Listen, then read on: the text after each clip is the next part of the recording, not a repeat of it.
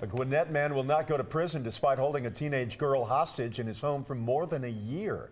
Police arrested Michael Wysolovski in 2017 after a 17-year-old North Carolina girl was found in his Duluth home. The girl's father says she was being held captive and he controlled every aspect of her life, including how many calories she ate. The man is now charged with cruelty to a child and false imprisonment, but he pleaded out on first-degree cruelty to children.